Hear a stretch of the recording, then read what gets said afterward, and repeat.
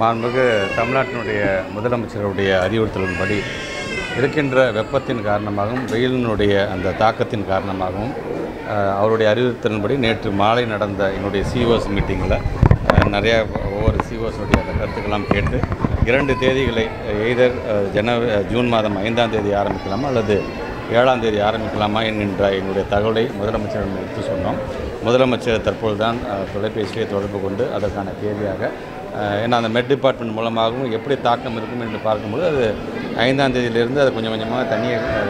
தொடங்கும் என்று சொல்லியிருந்தார்கள். ஆக அந்த வகையில் நம்மளுடைய மாண்புமிகு முதலமைச்சருடைய அறிவிப்பாக வருகின்ற ஜூன் ஏழாம் தேதி ஒன்றாம் வகுப்பிலிருந்து பன்னிரெண்டாம் வகுப்பு வரைக்கான அந்த பள்ளிக்கூடங்கள் திறக்கப்படும் என்பதை நான் தெரிவித்துக்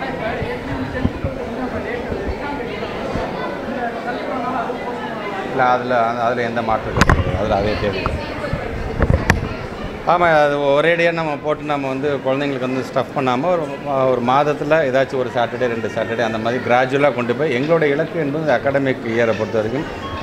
சரியான நேரத்தில் இந்த பாடங்களை முடிக்க முடிக்க வேண்டும் என்கின்ற அளவுக்கு தான் எங்களுடைய அந்த திட்டமிடலும் இருக்கின்றது. ஆக கண்டிப்பாக இதில் நாங்கள் இந்த ரெண்டு நாட்கள் தள்ளி போகின்றது அதில் நான் கண்டிப்பாக நான் காமிச்சேன் தேங்க்யூ